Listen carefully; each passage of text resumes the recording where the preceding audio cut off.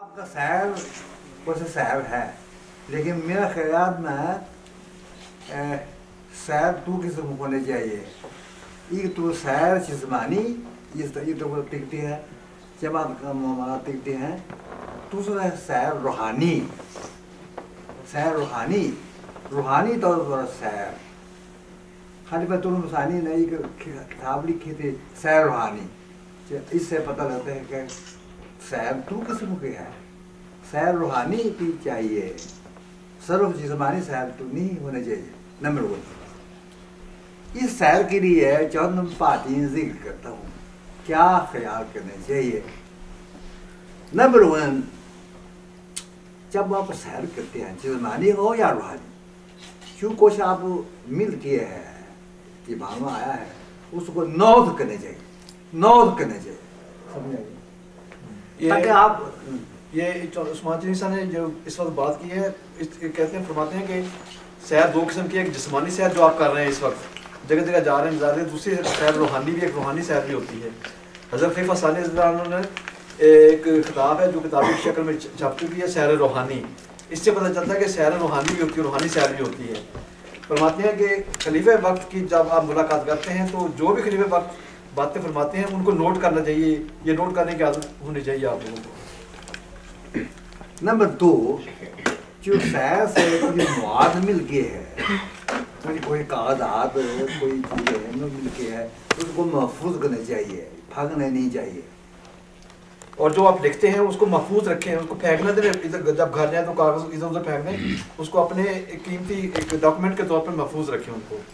Number three रोज़ाना diary लिखने चाहिए।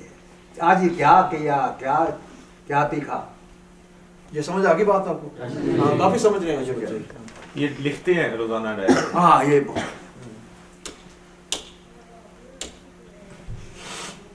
नंबर फोर लिखने के बाद जब के मौका मिल जाएगा मिल जाए मुहासबा करने चाहिए और करने चाहिए मैं क्या दिया क्या फ़ायदा उठाया लिखने भी चाहिए।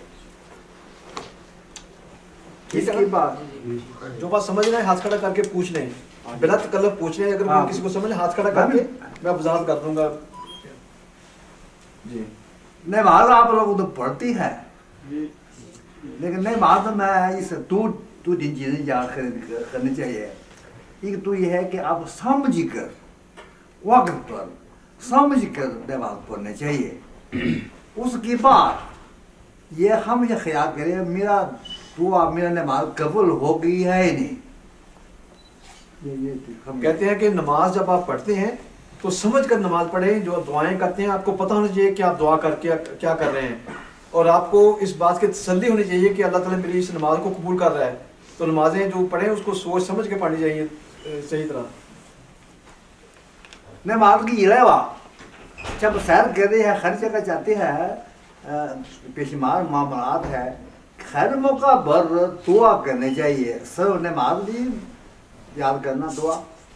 पर हर वक्त हर मौका पर दुआ करना दुआ करनी चाहिए। नमाज़ के अलावा भी आपको उस दिन के वक्त मुख्तलिफ़ मौके पर दुआएँ करते रहने चाहिए। अपने वक्त को ज़्यादा दुआओं में तो बच्चे आमतौर पर गप्पों में लगे रहते हैं।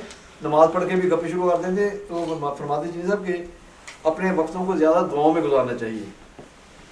आज एक एक बात ये है कि मैंने देखा है जब मैं बाजबन था अ, कभी ख्वाब भी दिखा था। जो इस वक्त महसूस हुआ है वो तो, तो है खुदा की तरफ़ से थी। इसलिए यकीनन आप लोग खुदा भी दिख- दिखाता है। इसलिए वो ख्वाब समझती है बहुत ही इंटरेस्टिंग है याद छोड़ नहीं सकता। याद करना पड़ता है इसको ख्याल रखें। और उसमें जो भी हिदायत है उस पर उसके मुताबिक अमल करें। अपने अपने हाथ तरक्की करें। तो जिन साहब फरमाते हैं कि बचपन में मैंने ख्वाब देखी थी वो अल्लाह ताला ने बड़ी पूरी की है और भी अल्लाह ताला ने आपको बहुत ख्वाबें दिखाई हैं कशफ दिखाए हैं आपको अपने मतलब बड़े पूरे हुए हैं। फरमाते हैं कि आपको भी जब अल्लाह ताला ख्वाब दिखाए उसको नोट करने का अच्छी ख्वाब जो नोट किया करें फिर देखें जब पूरी होगी आपके ख्वाब तो आपको अल्लाह ताला की ज़ात पर कितना ईमान ज़्यादा होगा कि अल्लाह ताला ने मुझे ये ख्वाब दिखाई थी वो बात पूरी हो गई है। इसके लिए ये बात भी करें कि जो दुआ है जो ख्वाब है मुँह है पर यकीन है इसमें भी कुछ ही मैसेज है नसीहत है। हाँ। इसको ख्याल रखना चाहिए ज़रूरी ख्वाब में जो आपको मैसेज मिलता है उसका भी आप ख्याल रखें कि ख्वाब ऐसे ही अल्लाह ताला ने दिखाता है उसमें मैसेज देता है आपको।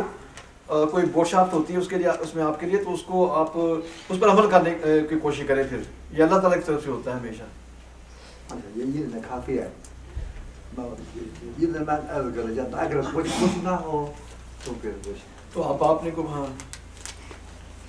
तो मेरा सवाल है आप बताते कोई ख्वाब जो आपको आई है ख्वाबें जो आई हैं पूरी हुई हैं। ये कहते हैं कोई ख्वाब आपने आप सुना दें जो पूरी हुई हो आपको अल्लाह ताला ने ख्वाब ऐसे दिखाई है जो पूरी हो वो हमें बता दें। हाँ ठीक है। इसलिए मैं एक मिसाल ये ये ये ये मैं ये नसीहत की थी याद दिलाया था। वो ये जब मैं अब जैसे बिल्कुल इस जैसे उम्र थी मैं मेरा ये इसको क्या कहते हैं? हाथ हथेली अ, दस्ताना। दसदाना गुम हो गई गुम नहीं हुई कि किसी ने बच्चे मेरे साथ खेल चोरी कर दी।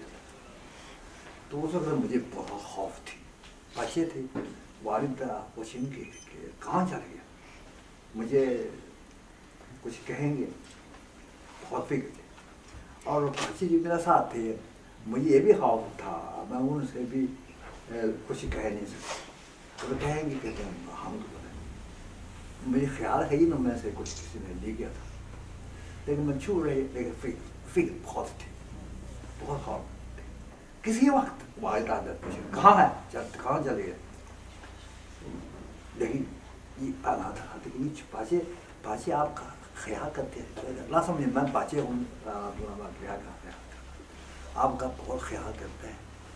उस मौका पर आना था मुझे ख्याल 하버 하버는 데 가야 개동하라 이제 그러나 그스타나 그스타나 오스 시스네 오스 들게 돼 지올이게 그냥 음 그럼 마음 내게 마음을 주는 해게 무슨 보시 저기다 내가 서로 하버하게 와이다 나버시 내가 나버시 그렇지 이거 살기 봐 와기 오스 알게 हुई थी उनको जो मेरा दस्ताना है दस्ताना उसने उसने उसने बनना बहुत और फिर मैं भी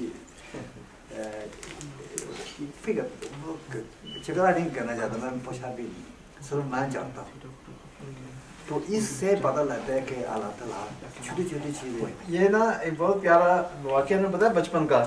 जो बड़ी बड़ी ख्वाबें आपको आई हैं, अल्लाह वो अलग चीज़ें आपकी उम्र की उम्र के ख्वाब बता रहे हैं कि दोस्तों के साथ खेल रहा था तो मेरे ना दस्ताना, वो जो होता है हंट हुए वो मेरा गुम हो गया। आपकी उम्र थी कहते छोटी उम्र में फाली की उम्र थी मेरी उस वक्त।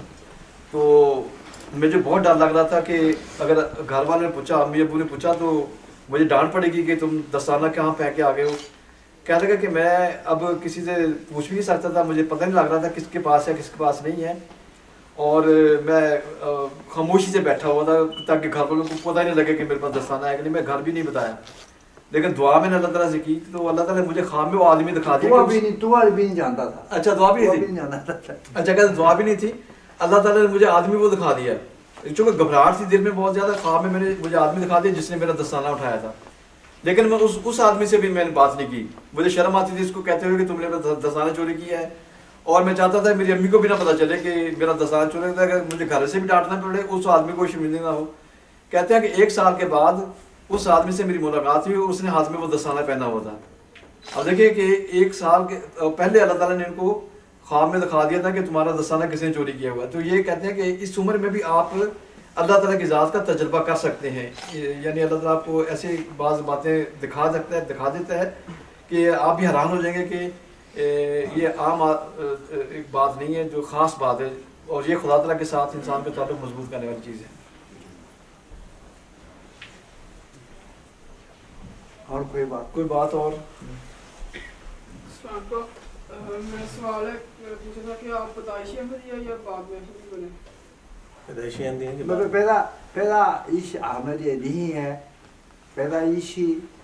अहमद है मुसलमान है? लेकिन ये कि हम इस्लाम कुछ पता नहीं था। लेकिन मुझे अभी तक समझ लिया है कि अल्लाह चाहता है। कि मैं कुछ ऐसे, मेरे अंदर ऐसे जोश रखा है। कि मैं कुछ क- मैंने एक दफ़ा जब मैं यूनिवर्सिटी में पढ़ता था मैंने इमाम से कहा मैंने कहा ज़िंदगी क्या है अगर मैं इस दुनिया में ज़िंदगी में कुछ ना कर सके इस वक्त मारना बेहतर है इमाम के लिए तो एक फ़िल्म है दूसरा फ़िल्म तो है लेकिन जज्बा जज्बा जो है खुदा ने पैदा किया सिर्फ़ जज्बा नहीं पैदा किया था बल्कि मौका भी पैदा किया मैं थोड़ी जा रहा था और फिर रो दिया नहीं जा सका बहुत कोशिश की साल तक कोशिश की नहीं। उसके बाद यहाँ आने का इंतज़ाम हो गया अब हो गया और दस रह गया बल्कि सिक्सटी ईयर्स यहाँ रहा अभी सिक्स तो ये हो गया ये जो मौका है ये तबावी निज़ाम है मेरा कोई खूबी नहीं है सिर्फ़ ये अल्लाह ताला का फजल है। उस वक्त पाकिस्तान था या इंडिया था? इंडिया इंडिया पाकिस्तान भी नहीं था। इंडिया था। इससे पता लगा आप हम लेता रहे। अल्लाह ताला मेरा क्या सलूक करता है इसके पीछे क्या मकसद है मुझे क्या करना चाहिए? इस वक्त तो अल्लाह ताला मुझे क्या मदद या यकीन अल्लाह ताला आपको हर एक मदद करता है। लेकिन आप अगर आप अगर फ़िक्र ना करें शुक्र ना करें तो शुक्र का तो इसको ज़्यादा तो नहीं कर सकेंगे अगर आप गौर करें खुदा के पास क्या सलूक है उसके मुताबिक कोशिश करें आप लोग बहुत तरक्की करेंगे ये आसमानी मनसूबा है जैसे खलीफा रसाई ये फरमाते हैं कि मैं पैदाइशी अहमदी तो नहीं हूँ लेकिन पैदाइशी मुसलमान था और मेरे अंदर इस्लाम की एक मोहब्बत थी और इस्लाम के साथ मेरा ख़ास ताल्लुक था और मैं ज़िंदगी का मकसद जो है वो तलाश करता था पूछता था तो अल्लाह ताला ने मेरी रहनमाई करनी थी क्योंकि मेरे अंदर इस्लाम की मोहब्बत थी। तो मैं टोक्यो जाने की भी कोशिश करता टोक्यो में नहीं जा सका। मेरे लिए रास्ते में रुकावटें बनती चली गई। लेकिन मैं इधर कादियान में मेरे आने का तुर्की तुर्की तुर्की। अच्छा तुर्की अच्छा तुर, टोकी नहीं तुर्की। तुर्की का कहते मेरा प्रोग्राम था वहाँ मैं नहीं जा सका रुकावटें आती चली गई। तो फिर लेकिन इंडिया में इनको आने का कोई अल्लाह ताला का रास्ता बन गया वहाँ आ गया और जमात का तारफ़ हो गया। तो अहमदियत कबूल की तो ये अल्लाह ये फरमाते हैं कि जो मेरे अंदर एक एक मोहब्बत थी इस्लाम की जोश था अल्लाह ताला ने मुझे सही रस्ते पर अहमदियत का जो रास्ता था उस पर लगा दिया। तो आपके दिलों में भी ये मोहब्बत होनी चाहिए इस्लाम का जोश जज्बा होना चाहिए। तो अल्लाह ताला फिर आप लोगों की भी रहनमई करेगा इंशाल्लाह। और एक बात अब देखिए ये ये मेरा हाथ है। बैरूनी तौर पर तो अल्लाह ताला ने ये निज़ाम किया है। चौधरी ज़फ़र नान साहिबा। साहिब चाइना किया था। उन्होंने एसोसिएशन से दरखास्त की थी कि आप लोग तालब इल्म को इंडिया भेजें वहाँ इस्लाम सीखें लेकिन उन लोगों ने अहमदियत की वजह से तासुब वजह से माना नहीं लेकिन उसके बाद ताला खुद ही निज़ाम हाँ। ये फरमाते हैं कि हज़रत चौधरी जफरुल्ला खान साहब भी चीन गए थे वो पाकिस्तानी गवर्नमेंट की तरफ़ से इंडियन गवर्नमेंट थी उस वक्त चाइना गए थे। तो उन्होंने हजूर की खिदमत में दरख्वास्त थी कि अ, हमें अहमदी तलबा को कोई चाइनीज़ भिजवाना चाहिए। तो लेकिन गवर्नमेंट जो थी वो मुतसब थी वो अहमदियों को उन्होंने नहीं आने दिया वहाँ। लेकिन अल्लाह ताला ने वहाँ के लोगों को इधर भिजवा दिया तो इस तरह एक जमात के साथ हमारा ताल्लुक हो गया। तो ये भी कहते हैं कि इस तरह अल्लाह ताला ने चाइनीज़ कौम में एक इनके ज़रिए से एक रास्ता भारत बनाया है। अब ये बहुत बड़ा लिटरेचर भी खुदा से ट्रांसलेशन कर रहे हैं इसकी। जी। कोई और बात? जी। अस्सलाम वालेकुम अस्सलाम। मेरा सवाल है कि अ, आपकी उम्र कितनी थी जब आप कबूल की? ठंड से ठंड से ठंडी से। ठंड। बीस साल की उम्र। बीस साल से कुछ ज़्यादा। बीस साल की उम्र थी।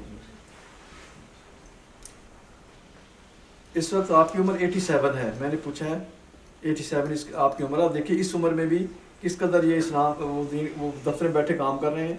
पूरा एक डेस्क है जिसको ये निगरानी कर रहे हैं और तर्जमे कर रहे हैं। तो इनकी सेहत के लिए भी सब बच्चे दुआ करें, सब सफ़र में भी दुआ को कबूल होती है, खास बच्चों की दुआएँ अल्लाह बहुत कबूल करता है। तो चीनी साहब जैसे बुज़ुर्गों के लिए बहुत दुआएँ करनी चाहिए और सब काम करने वालों के लिए वक्फी ज़िंदगी के लिए दुआएँ करनी चाहिए।